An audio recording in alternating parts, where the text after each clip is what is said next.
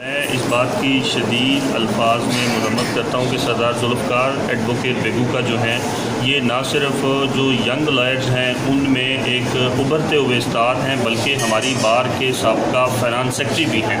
اور یہ وہ فنانس سیکٹری ہیں کہ جو جن کی اہمیت اور جن کا کردار جو بار کے لیے ہے، اس کی آپ مثال اس سے بھی لے سکتے ہیں کہ ان کے مخالفت میں کوئی کینڈیڈیٹ بھی نہیں کھڑا ہوا اور بلکہ یہ متفقہ طور پر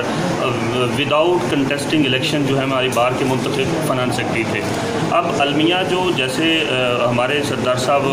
صدر بار نے فرمایا ہے کہ یہ کوئی افغانستان نہیں ہے، یہ کوئی وزیرستان نہیں ہے، جہاں کے بار کے ڈی پی جو اہم ترین رکن ہے، جو وکیل کا یہ حال ہے کہ ڈی پی او آفس کے اندر قاتلانہ حملہ ہو گیا ہے، کوئی پوچھنے والا نہیں ہے۔ وہاں پہ ایلیٹ فورس ہے، وہاں پہ ان کی اپنی سیکورٹی ہے، وہاں پہ ڈی ایس پی اور ڈی پی او کا اپنا عملہ ہے۔ اور اگر یہ دوسرے پرائیویٹ پرسن یا دوسرے ہمسائے جو اویس ایڈوکیٹ صاحب ہیں نہ ہوتے تو آج تو یہ جو ہماری بار کا چشم و جراب تھا وہ ختم ہو جاتا، وہ گل ہو جاتا اور بار اپنے ایک اہم ترین وکیل سے محروم ہو جاتی۔ اس لیے جیسے ہمارے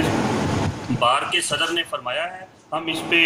بالکل سخت ترین الفاظ میں مذمت، نہ صرف مذمت کرتے ہیں، بلکہ ڈی پی او آفس کے لیے اور ہماری جو بار ہے، اس کے مکمل طور پہ اپنا لایا عمل تشکیل دے گی۔ اور ہم مکمل طور پہ جو اعلیٰ سطح پر وہ حکومتی عہدیداران ہوں، وہ چیف جسٹس ہو وہ آئی جی ہو ان کو اس بات کی طرف توجہ دلانا چاہتے ہیں کہ اگر ایک اہم ترین بندہ جو اس طرح کے جو پبلک دفاتر ہیں، جہاں پہ دہشت گردی کے واقعات ہوں، جہاں پہ قاتلانہ حملے ہوں ان کی دہشت گردی کی دفات میں ہم انشاءاللہ پرچہ بھی کروائیں گے اور یہ جو دہشت گردی ہے، یہ جو یہ بندر بانٹ والا جس کا کوئی والی وارث نہیں ہے، یہ پبلک دفاتر کا جس کا کوئی والی وارث نہیں ہے، جس جہاں کوئی پوچھنے والا نہیں ہے، ایک اہم ترین بندہ اگر قاتلانہ حملے سے نہیں بچ سکتا تو عام بندہ کیسے بچ سکتا ہے؟ اس لیے ہم اپنی بات کا سخت ترین لایا عمل کریں گے اور سب بھائیوں سے بکلا بھائیوں سے دعا ہے کہ ان کی صحت کے لیے دعا کریں۔ جی ستار ذوالفقار بیگو کا ہماری بات کا شائننگ سٹار ایڈوکیٹ ہے اور شریف ترین آدمی ہے اس کے میں، مجھے پریکٹس کرتے ہوئے ادھر بیس سال ہو گیا، میں نے بھی دیکھا دس سال سے یہ بھی یہاں پہ پریکٹس کر رہے ہیں اور اپنی شرافت سے زندگی گزار رہے ہیں۔ کچھ لوگوں نے ان پر جو قاتلانہ حملہ کیا ہے، میں اس کی شدید مذمت کرتا ہوں۔ اور جب تک ملزمان کیفر کردار تک نہیں پہنچتے، ہم اپنی بار میں اپنا لائحہ عمل بنائیں گے اور اس کے مطابق ہم چلیں گے۔ کیونکہ اگر ڈی پی او کے آفس میں، پولیس کے دفاتر میں بھی لوگ محفوظ نہیں ہیں، تو آپ سوچ لیں کہ عام جگہ پہ کیا حال ہوتا ہوگا؟